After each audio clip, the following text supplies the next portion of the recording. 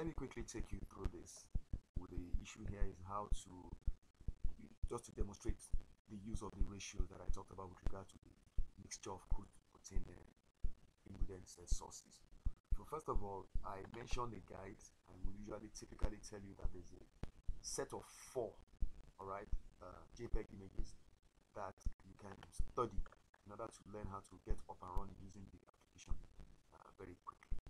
So what I'm doing here is just to show you the, the four JPEG images, Glyphon, Glyphon 4, they are located in a folder called the, the RF, look at that, that's the name there, RF-pix-guides.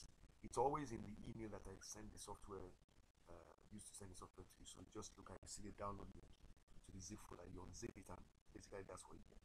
Now, in the, in the uh, JPEG in guide 1, like you have instructions about how to make entries into the influence table, interest table, you know, and all that. Uh, but I want to take you to this other one, this guy too. Alright, computing a rational formula using the Excel VBA. So basically, it's like I said, it contains step-by-step instructions. You can see here, you see the uh, uh, annotation, sorry, A to D there, and then you come here, you can see that at A it says don't do this and all of that. So the instructions with regard to how to use more than one crude protein source, all right, are on this particular one. You see, choose mixture at C, blah blah blah. I'm going to demonstrate it, so I won't read. I just want you to understand that you can come and read this and understand it. Now, the third one, oh, I shouldn't have done that. Sorry, the fourth one, guide four. I just want you to see um, there is a set of rules specified for the use of this advanced uh, version of the uh, Pearson square computation technique. This is an advanced technique because it allows you to use more than two ingredients at a time in a ration formulation and it's actually effective.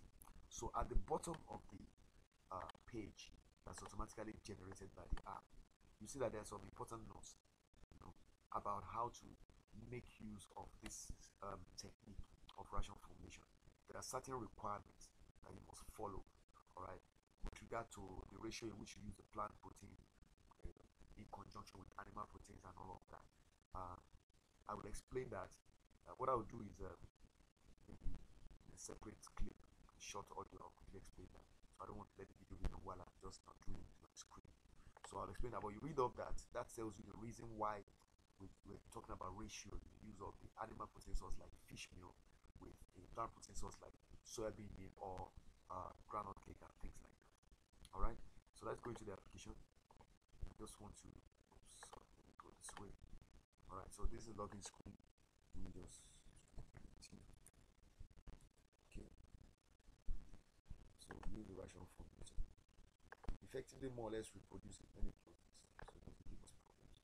I'm effectively reproducing the same video I did before but this time I just want to demonstrate specifics. All right so you click the automatic ration form uh, sorry use automatic form and you get this error message. Error value detected. Read it when you are when you when you're on. Basically, what you need to do to clear that error. You see, look for every place where you have errors. So you can see that there's a div error here. Now, how do you resolve that? I'll show you. But there's also a div error in here. The first thing you need to do here, therefore, is to choose maybe like another source. Let's say groundnut cake, right? Well, just get the thing not to show any div errors here. Now, regarding the div error in the section for uh, protein source can you see it's gone now all right so that's it but there's something we need to do so let's go back to the main menu. All right go to the update feed ingredients table i want to show you something. Look at the color ratio.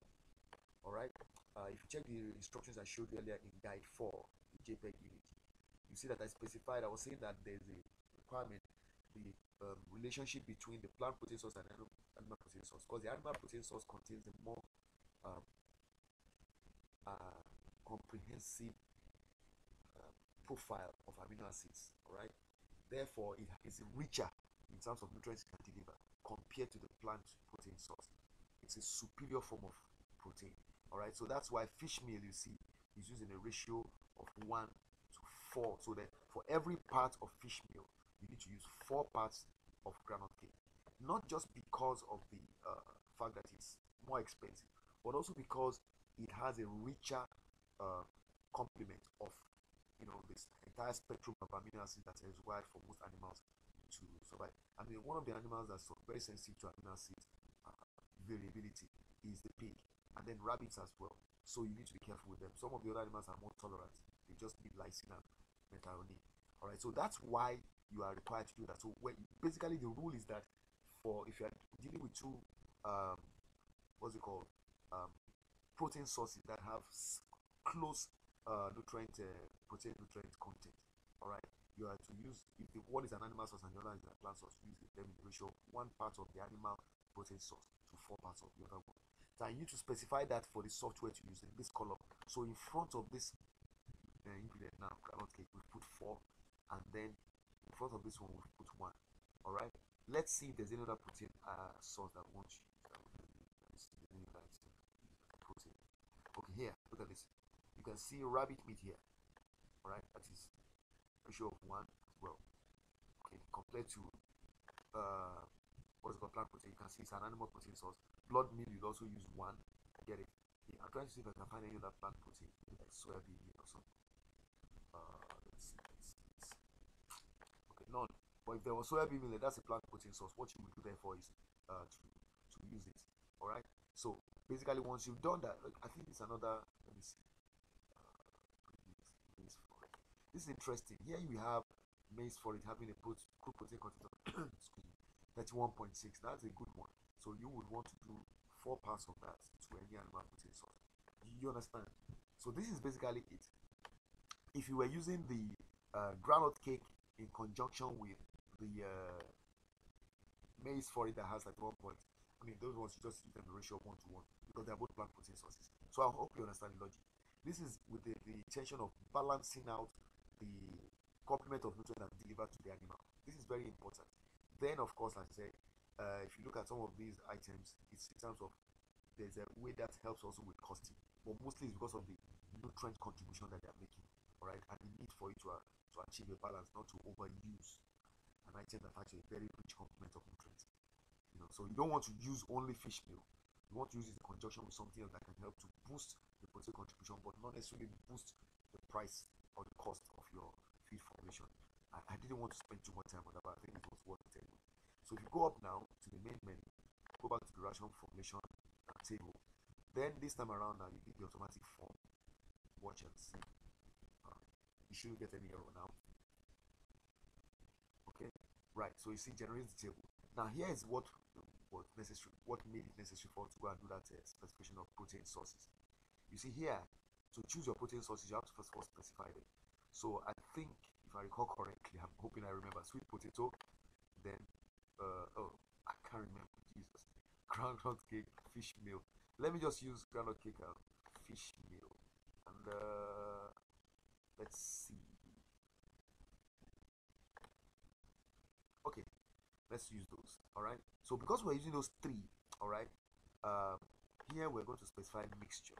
We go to the bottom and choose the option mixture. You can't mention any of specific protein uh, ingredient contributors because you have three of them.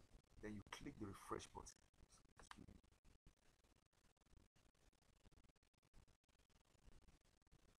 Okay. You can see it automatically had sorry I, I, knew I was wrong on this. It wouldn't have been sweet potato. Probably have been uh, maize forage and that was one we saw that had that uh, contribution of protein. Let's do it again. Refresh you've got to pick the right protein source of course. Okay. Um, so you see now it's it's on a ratio of four of uh, maize forage to four of uh, ground cake to one of fish meal you know. Now then the mixture here so it this the software has now generated for you the actual quantities of those three protein sources that you're going to use. So if you look at this S section estimated percentage to use in ration this is the portion now. You see you can see quantity of mixture is 84.19 all right out of the 100 percent then it breaks it down quantity of maize from that will be maize forage from that will be 37.41 Quantity of groundnut cake from that will be 37.41. Quantity of fish meal will be 9.354. Understand? Then the quantity of fish is 15. These are the values you then post in here. You see, to the relevant field. Wherever you have groundnut cake, put in the quantity of groundnut cake that's uh, estimated percentage, fish meal. Then all the other ones that are fixed, just put in the quantity that are, you know, maybe it's um, dog premix, or okay, in this case, maybe not dog premix, but this was someone was doing a dog uh, ration formulation. Uh, you know, calcium, methionine, those are really fixed. So you put all those in. But these variable cost inputs, variable uh, infinite unit. All right, the values you would actually be would generated automatically here as estimates. Then you put them in here. Then you begin to tweak them as is shown in the other videos till you get what you want. It. So I hope you understand this, but we're going to talk about it more. And uh, if there's any of you that has a problem using this, because this is going to be a video I'll give to everybody uh, who's a user, then all we have to do is you and I will come online. All right, you will log on to your system. I log on to my system, and I'll tell you, okay, what do you have on your screen now? You tell me what you have, then I'll guide you till you get it and generate a signal result to what I have on my own system. That's what I've done with others, and it's worked perfectly, so that you understand. So if you also want to discuss the logic behind the use of these ratios, uh, the in this uh, example, we can always talk about that, right? But that's the way this particular technique of rational formulation is done. All right, thanks.